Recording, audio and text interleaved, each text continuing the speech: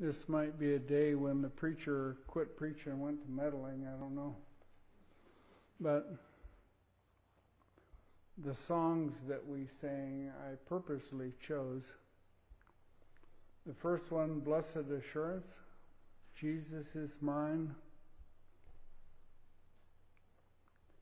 It's a foretaste of glory divine. Then the ne- next one, there is a balm in Gilead.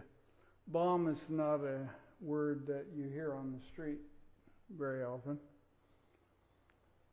It has to do with a healing remedy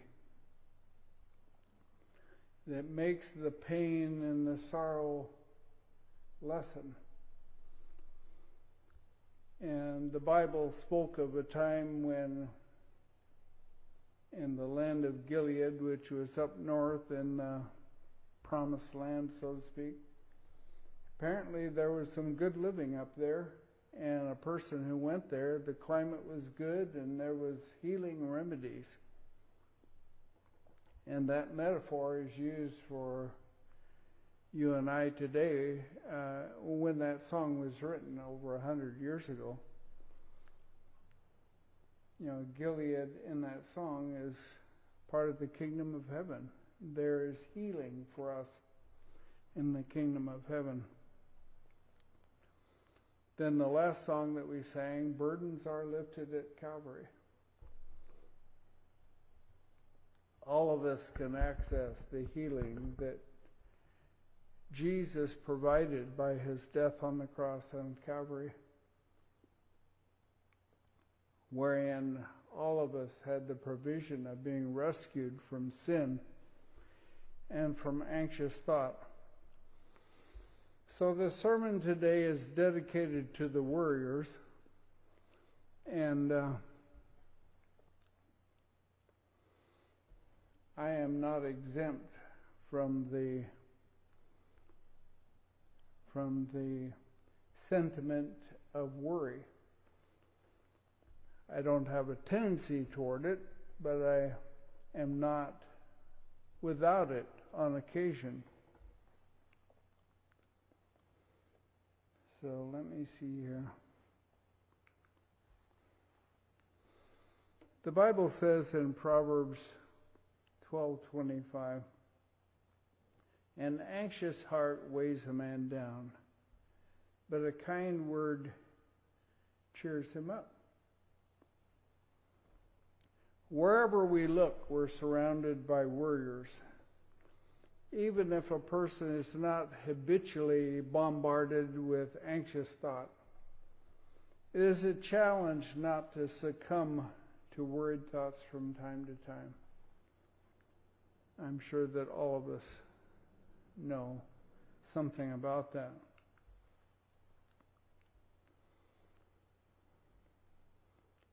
Johnny Cash wrote a song a long time ago now in which the most memorable phrase was, I'm a worried man. And one of the lines says, Hungry babes don't understand. Papa is a worried man. A lot of us know what that's about. You know, where the rent is come from, going to come from, where the food is going to come from, where the medications are going to come from. And uh, worry is something that no one seems exempt from. People don't tend to worry less as they get older. Sorry to disillusion you. I used to think that righteousness was a byproduct of old age. You finally get too tired to sin anymore. Not true don't uh, be tempted by that thought. People don't tend to worry less as they grow older, they worry more.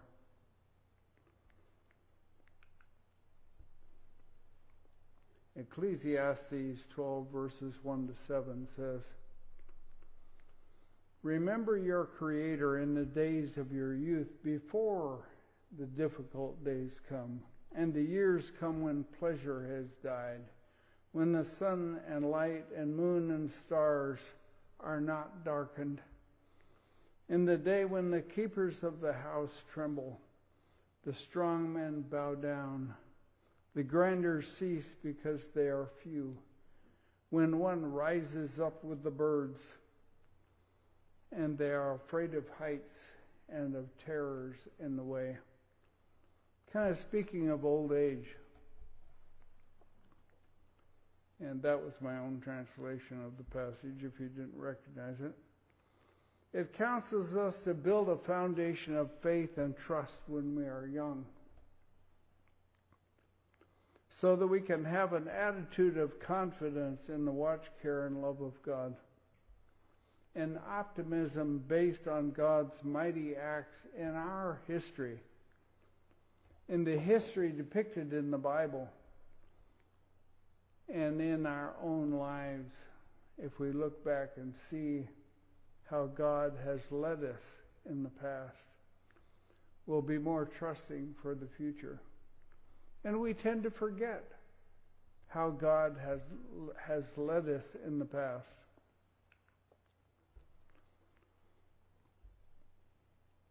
Consider the lilies of the field, how they grow. They neither toil nor spin. And yet I say to you that even Solomon in all his glory was not arrayed like one of these. Now, if God so clothes the grass of the field, which today is, and tomorrow is cast into the oven, shall he not much more clothe you, O ye of little faith? Therefore do not worry saying, What shall we eat? What shall we drink? Or what shall we wear? For after all these things the Gentiles seek. For your heavenly Father knows that you need all these things. But seek first the kingdom of God and his righteousness, and all these things shall be added to you. Therefore, do not worry about tomorrow. For tomorrow will worry about its own things. Sufficient for the day is its own trouble. This thought of Christ is kind of a gentle rebuke to the anxious thought, the perplexity and doubt of the faithless heart. The Lord would have all his sons and daughters happy, peaceful, and obedient. Jesus says, My peace I give unto you. Not as the world giveth, give I unto you. Let not your heart be troubled, neither let it be afraid. These things I have spoken unto you, that my joy might remain in you, and your joy might be full. Now, I would like to invite Melissa and Roger up here. to help me. And, uh, but that doesn't let the rest of you off. This is a beautiful song, and most of you have heard it sometime. Oh, yeah, they want the music.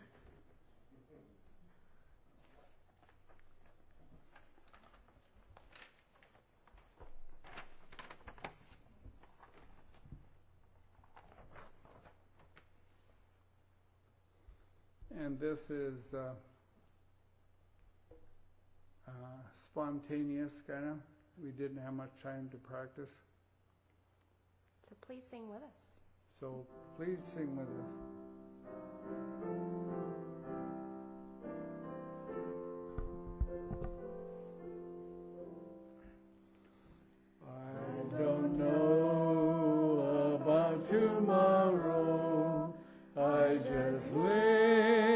from day to day. I don't borrow from its sunshine, for its skies may turn to gray. I don't worry.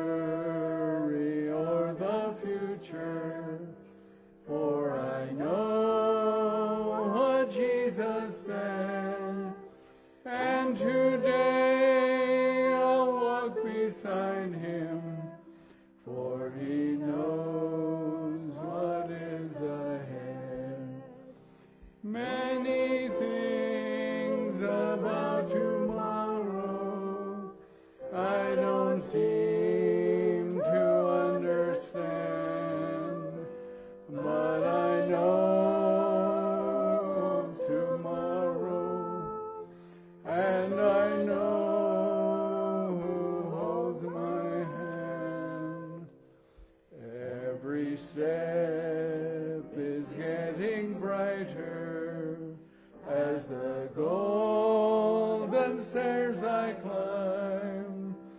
Every burden's getting lighter.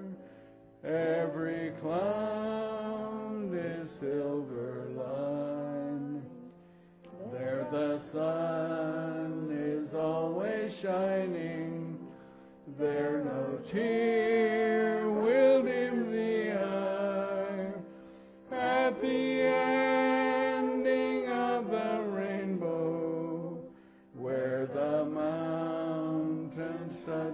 sky. Many things about tomorrow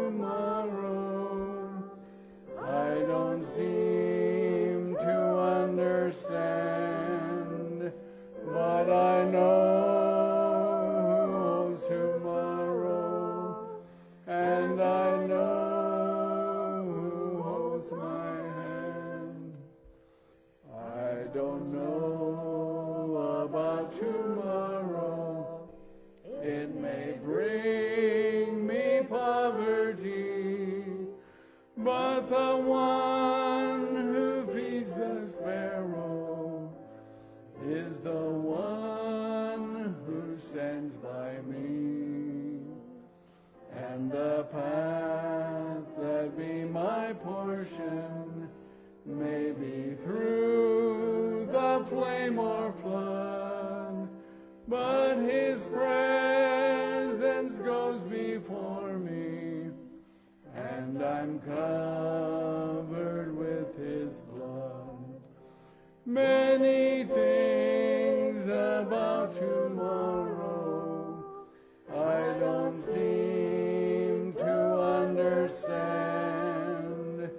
but I know who holds tomorrow, and I know who holds my hand.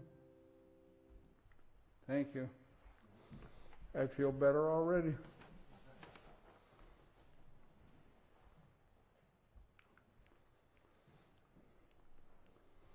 Christ has given us no promise of help in bearing today the burdens of tomorrow.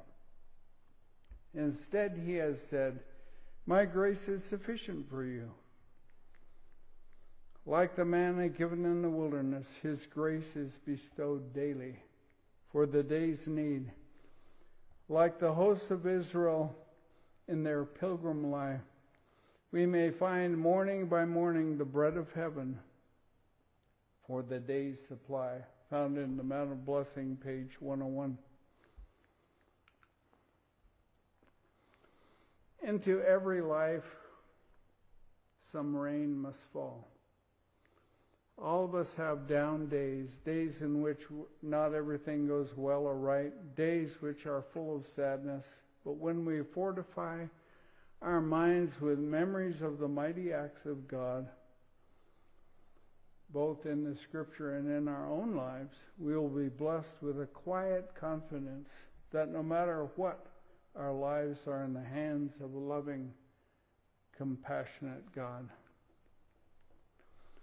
The scriptures tell us that we can be citizens of the kingdom of heaven even while we're still waiting on earth. That in spite of the trials and tribulations of our earthly existence, we can be confident in our Savior and we can look beyond our surroundings to the courts of heaven, where by faith we can lift our voices with those who surround the throne, and they're already singing praises to Jesus, who is worthy, the worthy Lamb that was slain. So, folks, here's the invitation to live in the presence of Jesus. Practice his presence. Think of the wonderful blessings he has poured out upon each one of us, yourself in particular. Let's stand for the benediction.